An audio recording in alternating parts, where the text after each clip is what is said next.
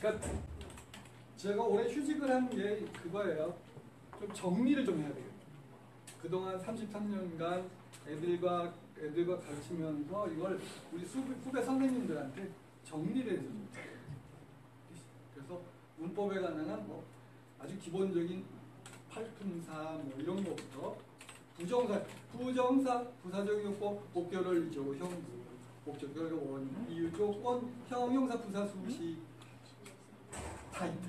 근데 재밌는 거는 노래로 했을 때 더 기억을 잘 나요. 뭐 하, 목적이 뭐냐? 하려고 목적 해본 이절과 하니까 원. 하는 걸 본. 이유 한다는 조건. 근데 이게 순서 하려고 근데 이게 잘 안 되려 몸이 먼저 기억한다니까?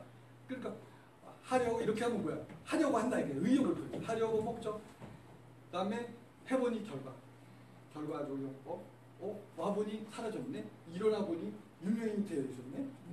그런 것도